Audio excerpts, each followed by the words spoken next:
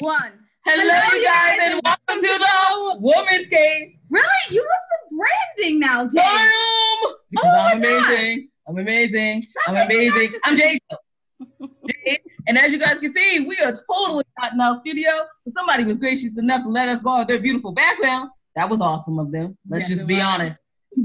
And no Wilnona. Oh, yeah, I remember. Oh, Woo, my high own. five. High five Five. me. Yes. Professional. Okay, so we are the women of the wo- well, the ladies of the women's cave, and also the and I thought ladies, and we wrote a bunch of books. And I thought divorce was bad with other life lessons, and I thought being grown up was easy, and I thought I could juggle it all, and I thought I had I did my journey alone. Sorry. And I thought I had it all figured out. You guys, I'm not on location, so you, you know I'm on location. Right? Mm-hmm. We Maybe don't this we coffee has a little bit more stuff in it. You know. Yeah, it's nothing like it's nothing like better than Irish coffee in the morning. I We're can't joking. coffee. What's better than Irish coffee is just coffee. It's just Irish It's a man. lot. Hello, coffee.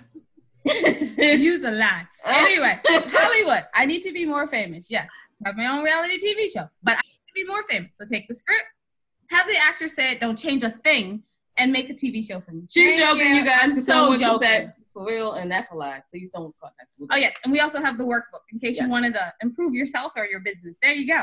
Woo, that was fun. That was long. And It it was one long. But we have a lot of ladies in the ladies' cave today, in the women's cave. Why did I call it the ladies' cave? What in the world is going on with my mouth today? And the women's cave.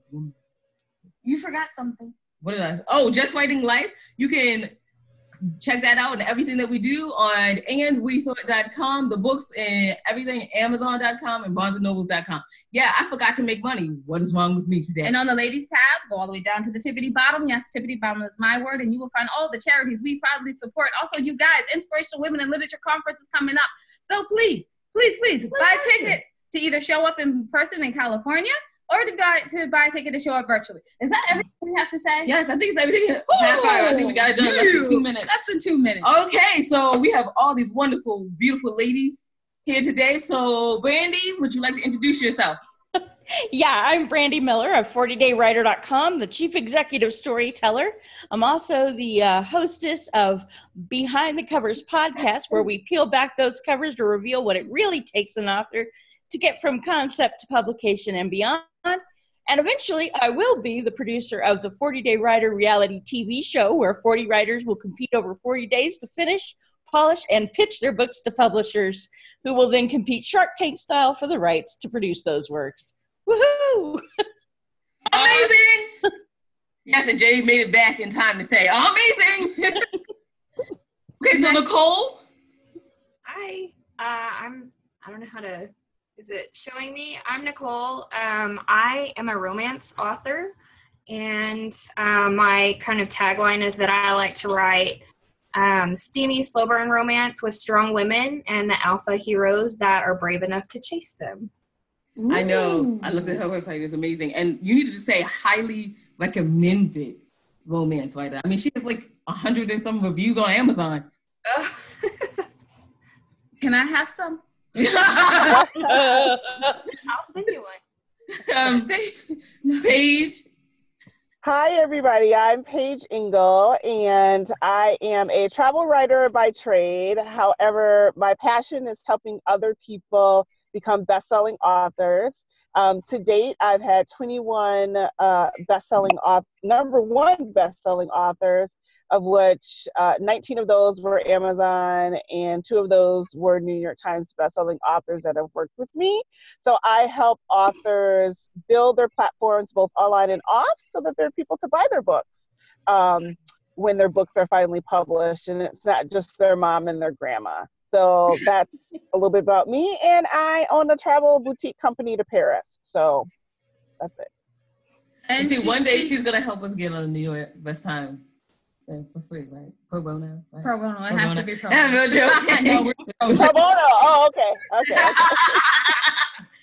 that was no joke. I'm sorry, Yeah. you guys. Um, and then Tara,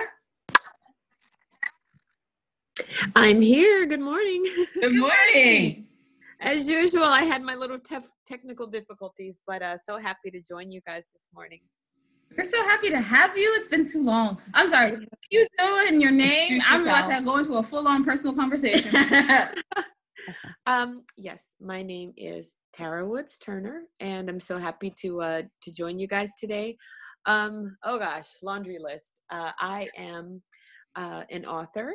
I am an etiquette consultant. I am a very proud uh, member of the uh, author community on both Amazon and Goodreads. Uh, very proud self-published indie author. I've been fortunate enough to uh, work with um, countless authors um, on helping to build their platform, helping to build their brand.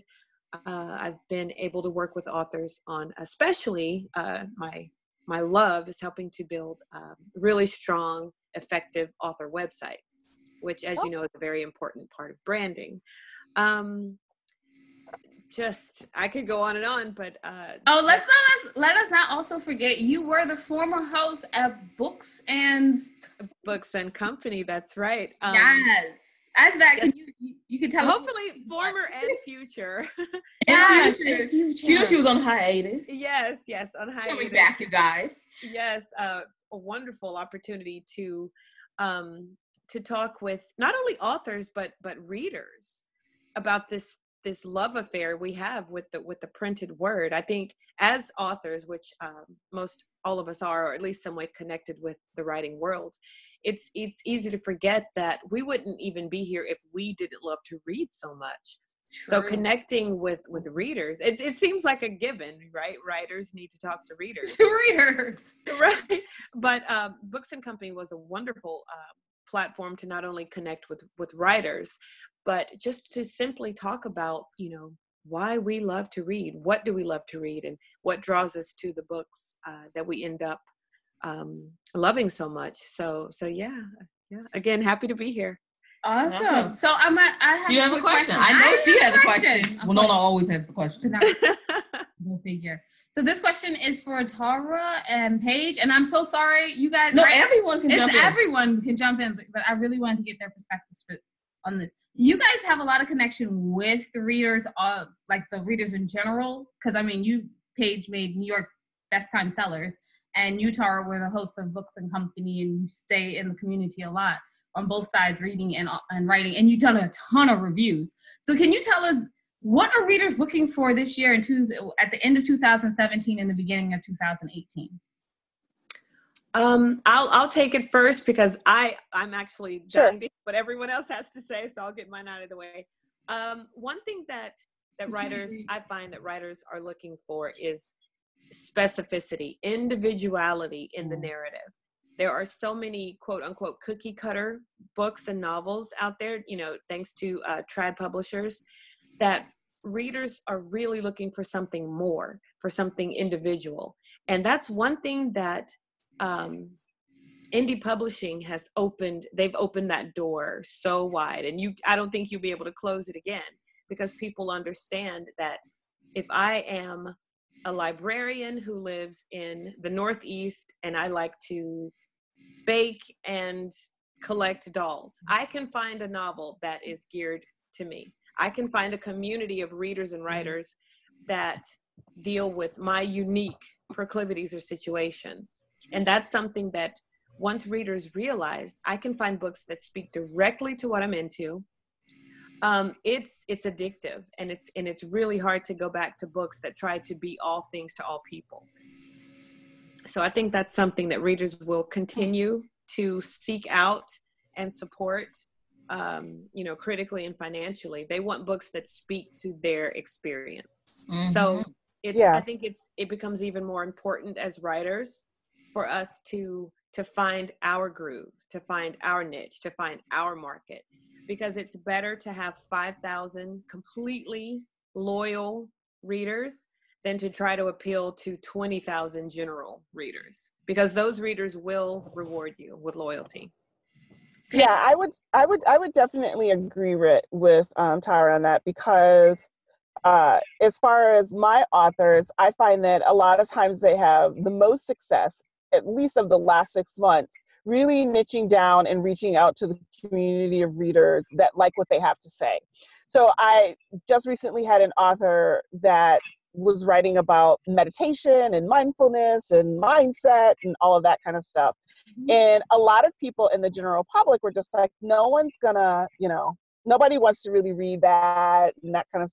Well, here's what happened. I mean, she goes to number one in like five different categories. And then, of course, because it's such a popular trending topic right now with people like Brene Brown and Gabrielle Bernstein, she, you know, we were able to capitalize on that with her book.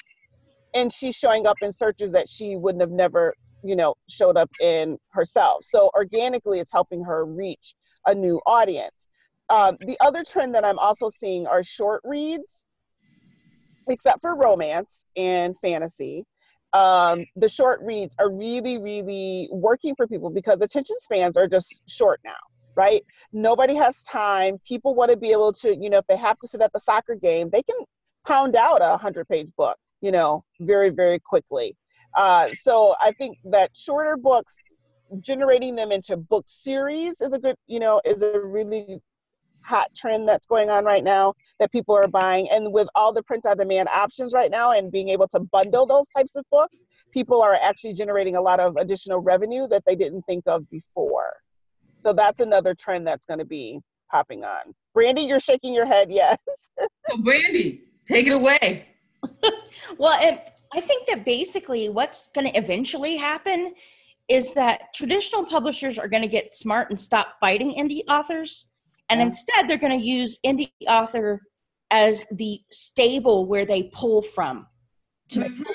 to, to basically build their base because that would be the smarter route for publishing companies that way they know that the work has been tested and they can you know experiment find out does the public really want that? Sure maybe i don't think so but if they're buying it in droves obviously i'm wrong.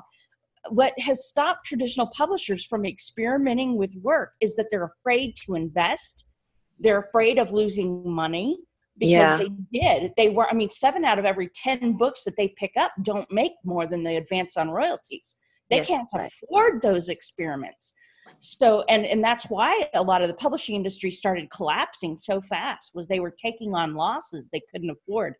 So now i think though right now we've got a dynamic where the traditional publishers are fighting with the indie publishers but i think eventually it's going to settle out to the point where the traditional publishers see the indie authors as friends. You know oh, this is where you go to prove yourself. Be an indie author first learn the business first then come talk mm-hmm. to us you know when you've figured out how to be a real partner then come talk to us and we'll invest in you that's interesting brandy so so do you see indie authors as being uh, sort of in a prime position to be the canaries in the in the mine, so to speak. Absolutely, sort of as, yeah. they're they're in the best position to get a feel for where the market really is. Well, and a lot of the traditional publishers are, are reaching out to independent publishers. Mm-hmm. Exactly. And, hi- and hybrid publishers and saying, hey, can you consult with us? How are we, you know, how can we reach this you know vast growing group of authors that are writing really really good things but have never really had the opportunity to get it out there because of the previous structure nicole so they're really even reaching out to some of them mm-hmm. I'm sorry, exactly. cut you off. nicole your opinion on this as the romance writer well i mean i can tell you a lot about romance not necessarily about other genres but i know right now um, for a long time, you know, there was a big push on the billionaire and the Dom and all that kind of stuff. But um, what I do is I'm one of the people that uh, write to market. And so that means like I write what readers want to read. And so I, I go to a lot of effort to find out what they want to read so that I know what I'm what I'm writing that's you know so that it'll sell. Um, but I just finished a couple of books and so I'm looking at starting my next project. And I asked my uh, Facebook group yesterday, what what do y'all want me to write next? And I gave them some options. I did a poll. Billionaire was one of the options, and pretty much the consensus was like everybody's sick of reading Billionaire. Like it's played out. Let's move on to something different. Um, the other thing is that I see that's really growing right now is the audiobooks. And I'll tell you as a reader, I I listen to audiobooks a lot more than I read anymore because I can listen while I'm getting ready in the morning, while I'm driving my nephew to school. I'm driving to work. Um, anytime I'm traveling, anytime I'm just doing something that doesn't, you know, cleaning or whatever I'm doing, I'm listening to audiobooks. Um, and that is a really growing um, group of people that are getting into those and really um, becoming fans of like narrators like that. So that's that's the one thing I really see that's booming in my industry right now. I want to say, you guys, first of all, I've enjoyed everyone's opinion on No, this. this is a very. And I just wanted to add to that. Like recently, I just had a, a meeting with a very a decently recognized writer, and for Brandy, getting their perspective on what indie people are right now, it's still not great. So it's going to take a minute. Uh, Paige, I love your input on the fact that they are working together, and uh, Nicole, always love input from the romance world I'm because you gonna guys al- actually sell the most. I'm gonna also say that they're gonna. I think I agree with Brandy. They're gonna probably go the way of the music industry, the way of television industry. Because think about it, Justin Bieber, where was he? Exactly, exactly. On internet. Popular support. Exactly. Or some other wonderful actors that we have now. Where did they come from? From doing improv on YouTube or the internet. So Yep. Right. have to really think that if you want to follow the trend and look how their careers have exploded, sold millions and millions of records and all this stuff, if you want to sell millions and millions of books, you might also want to try to find some indie authors that have their following. Also, though, when you come back to the whole thing of the indie author, we, we interview quite a few. So we also get like people who have had like, oh yes, publishers come to me, but me being someone who actually, well, Paige can say this too. Uh, had like a publisher uh, thing in my hand, and I was like, "This is twenty percent. This is like twenty cents, Mhm. Mhm. five dollars a book." Maybe we make five dollars. Uh, on the first one, it's like, yeah, um, exactly. It's it's Lord, really Lord, hard. why am I going with you? and you're giving up a lot of control for not a Yeah. lot of return now it's it's it's also true that you know they have you know the, the marketing and promotional uh, capabilities that uh, i personally couldn't begin to to match. But at the same time you know it, it's you you sacrifice i sacrifice you know time and energy to promote myself but the control and the freedom i have make to me it makes it worth it. It makes it as an as a nonfiction um, Mhm. author. But again um, as some of the other ladies were saying hybrid uh, publishing is becoming more uh, relevant. And of course with some of the heavy hitters some of the indie authors who've sold uh, millions of copies uh, they were actually able in fact i forgive me for not being able to remember his name but there was an indie author. He wrote the uh, silo series the dystopian uh, series silo. And he was the first indie author to strike a deal with a trad publisher where he said okay you guys i'm willing to to play ball with you but i'm keeping the digital rights Mhm. that was groundbreaking but it, it's happening it's it's happening That's Well, I, I think think- also when you're when you're dealing with traditional publishers, um, they, they have a huge arsenal of resources for marketing. However, what's hap- what I, the trend that I'm seeing right now with authors is that the A listers are the ones that are getting all of the time. The Yes. B and the C listers are the ones that are kind of like, what do I do now? I don't have, you know, all of the support that I had before. How am I going to, you know, leverage th- these book projects to build my brand? Because I'm not on the A list. So I'm going to have to come up with other solutions myself. I believe what I remember one time I was reading about because I really wanted to place our series Mhm. with a publisher for a minute there. And I started reading about publishing and I recognized that they're like, you only get like five minutes to really pitch that that person's listening. Mm. And two and a half of those minutes are going to go to one author and it's going to be the A1 slot. And then you got the B and the C and they normally have to negotiate for those two. But mm. this is going to be the person who's going to be in the front of the store. So if you're on the B and the C list, you can just forget it. No one's going out to a bookstore asking, you know, pitching this to them. They're not going to go to Right. Them. And True. but anyway, we are on the writer section again. Well, because we What are you guys reading? right now. I'm Right actually now. reading the five love languages. I'm a little late to that party, but you know, it was it was on sale at the bookstore. So. My sister's a huge fan of that. You're going you're really going to to enjoy it. so I've heard my little sister is actually a big fan of it too. It's one of the reasons I went ahead and picked it up. It's pretty good, pretty good. Um, I'm I'm actually reading uh, these. I'm, I'm doing the uh, whole sci-fi dystopian thing right now. I'm I'm reading um, the Stormlight series by Brandon Sanderson, um, and as Nicole said, audiobook is is really you know what's going on right now. And if I'm if I'm reviewing a book, I almost always have digital copies, but when it's my personal choice, it's always going to be Audible. I just I really love it. And um, I'm on the third book of the Stormlight series. It took Brandon Sanderson about three or four years to uh, kick that out. So thank you, Brandon. Um, so I, I really jumped on it when it came out. It it came out um, about three weeks ago, and it it debuted at number one. So I'm like, okay, that's what happens when people wait four years for your book. Mm-hmm. Um, right. But and it, it's 52 hours, and I'm enjoying every minute of it. Nice. Keep awesome. wanting more. Paige and Nicole, what are you guys reading? Um, I'm rereading Ask by Ryan Levesque. Um, if you guys have ever read that book, it's just about uh, a different uh, mindset on um, the sales funnel and asking your clients or your audience what exactly they want and that they will tell you and how to use different strategies for like polling and getting that information. And the book that I recently just bought a bunch of copies of that I'm waiting for is Crushing It by Gary Vaynerchuk. That doesn't come out till January, so I'm excited about that. Nicole?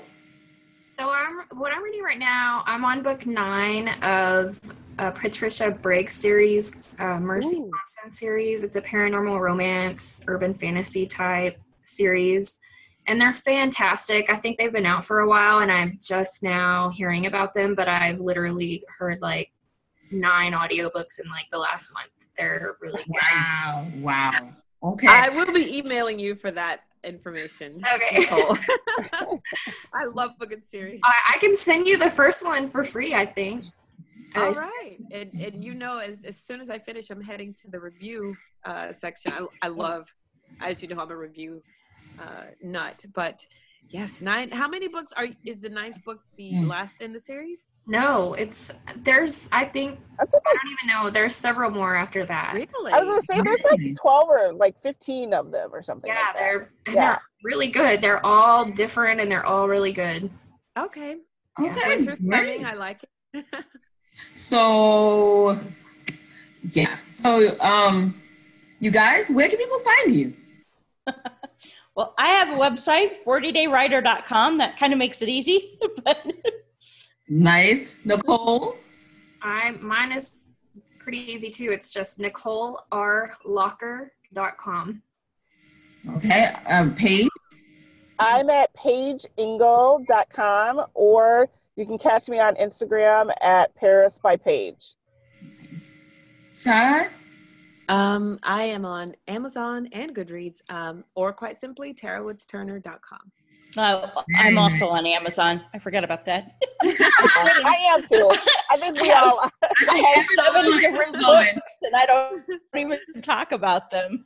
In fact, I just released one called "I Wish I Could Draw Like That," where I walk people through my art from the uh, from literally from age four. My mom was like a hoarder, so she shipped Oh, me a box with um, drawings from like preschool and kindergarten in it. And all the way through high school and everything. So I scanned them in and I put these book these together because I often get people who look at my art and go, "Oh, I wish I could draw like that." And I'm like, "Well, honey, if you spend as much money and time and effort as I, you could draw like that." Oh, And so that's I kind need of to- I the need book. to check that out. Actually, my my niece, she's 13. She just two days ago, she just sent in her portfolio. She's auditioning for a Mhm. slot at Northwest Performing Arts High School, Oh, wow. and she's Yeah. been obsessing over her portfolio. And I think it would encourage her to see, you know, Oh, every definitely. every journey begins with one step. Exactly. So thank you for And, mentioning So that. thank you guys for coming on. We really appreciate it. You can always find your ladies, Jade and Wilnona, at andwethought.com or Can the, I just say one the, thing? No. Yeah. no, uh, I, I, no. And the womanscave.com. Why? Why? I'm wrapping up. You hear the wrap up. I just want to say you can watch us on Channel 18 in California. Oh my goodness. You watch our TV show. Please. She heard the wrap It gives us paychecks. Okay, so or the womanscave.com. and just remember that wisdom is all around you if You're open to finding it and accepting it. So peace and love, you guys, from Wilnona. and Wait, it goes like this. Bye Bye. bye. Have a great day.